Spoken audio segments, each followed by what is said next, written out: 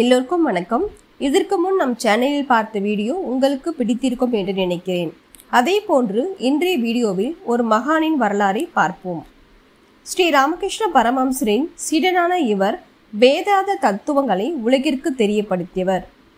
தனது இளம் வயதிலேயே அனைத்து விஷயங்களையும் ஆராய்ந்து அறிந்து முன்னோக்கு சிந்தனையுடன் செயல்பட்ட இந்த சுவாமி விவேகானந்தரை பற்றி தான் இந்த பதிவில் காண உள்ளோம்.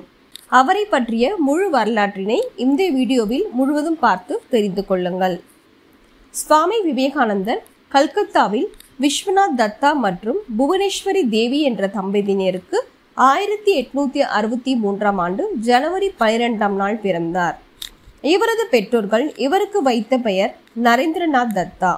காலப்போக்கில் இறையுணர்வின் மீது இருந்த ஈடுபாட்டால் அவரது பெயரினை விவேகானந்தர் என்று மாற்றிக்கொண்டார். தனது தொடக்க கல்வியினை அவர் பயிலும்போது அவர் மிகச் சிறந்த நினைவாற்றலோடு இருந்துள்ளார். மேலும் இசை மற்றும் இசைக்கருவிகள் மேல் அவருக்கு இருந்த ஈடுபாட்டால் அவர் அதனை முறைப்படி கற்றார். சிறு வயதிலிருந்து அவருக்கு தியானத்தின் மீது அதிக நாட்டம் இருந்தது. எனவே அவர் தியானத்தினை தொடர்ந்து செய்து வந்தார். தனது பள்ளி படிப்பினை முடித்த விவேகானந்தர் ஸ்காட்டிஷ் சர்ச் கல்லூரியில் தத்துவம் பயின்றார்.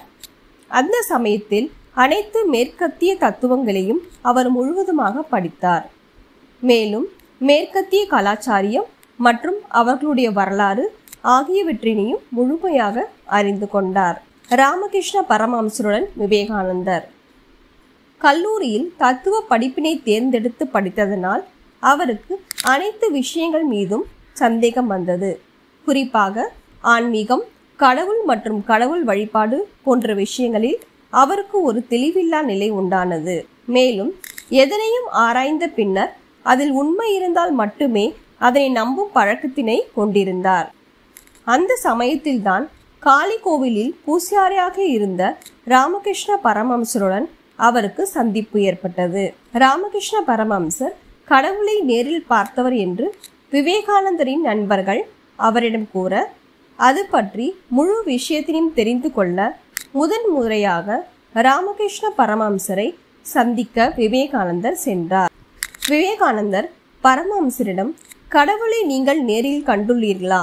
என்று தனது கேள்வியினை அவரிடம் கேட்டார். அதற்கு பதிலளித்த பரமம்சர் நான் உன்னை பார்ப்பதை விட தெளிவாக கடவுளை பார்த்துள்ளேன் என்று கூறினார். அதனை விவேகானந்தர் நம்பவில்லை. பிறகு ஒரு சோதனையை செய்த விவேகானந்தர் அதன் பின் ராமகிருஷ்ண பரமஹம்சரை நம்பத் தொடங்கினார். சீடன் விவேகானந்தர். பரமஹம்சரை முழுவதும் நம்பத் தொடங்கிய பின்னர் விவேகானந்தர் அவருடைய சீடராக மாறினார். ராமகிருஷ்ண பரமஹம்சர் கடவுள் வழிபாட்டினை உருவ வடிவமாகவும் மற்றும் அறுவை வடிவமாகவும் போதிக்காமல் உணர்ச்சி வடிவமாக போதித்தார்.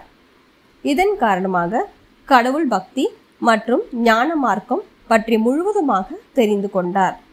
விவேகானந்தர் தனது குருவான ஸ்ரீ ராமகிருஷ்ண பரமம்சர் இறந்ததும் விவேகானந்தர் மற்றும் சில முதன்மை சீடர்களும் துறவிகளாக மாறினர். துறவியாக மாறிய இவர்கள் அனைவரும் இந்தியா முழுவதும் சென்று அங்கு தங்களது ஞான அறிவினை விசாரப்படுத்தி கொண்டனர். அப்போது இந்திய மக்களின் நிலையினை பற்றி விவேகானந்தர் நன்கு புரிந்து கொண்டார். நாடு முழுவதும் வெவ்வேறு மக்களை சந்தித்து அவர்களை பற்றி தெரிந்து கொண்ட விவேகானந்தர் மக்கள் ஆங்கிலேய அரசிடம் அடிமைப்பட்டு இருப்பதனை நினைத்து வருந்தினார். மேலும் அவர் அதற்கு அடுத்து நடத்திய சொற்பொழிவுகள் மக்களின் முன்னேற்றத்திற்கான சொற்பொழிவுகளாகவே இருந்தது.